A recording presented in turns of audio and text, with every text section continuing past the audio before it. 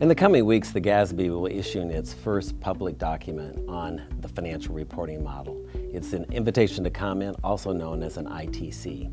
Now, our pre-agenda research showed that overall the financial reporting model is working quite well. However, that research did show us there were some areas for potential improvement. So this particular document will focus on those improvement areas, not a blank slate.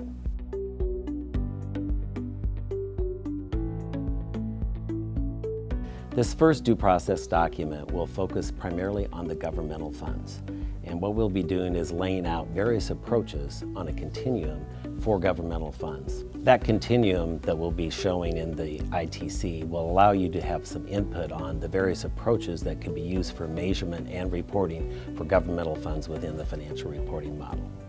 Shortly after the release of the invitation to comment, we'll actually be doing some videos on our website that will provide you with some key items within that invitation to comment.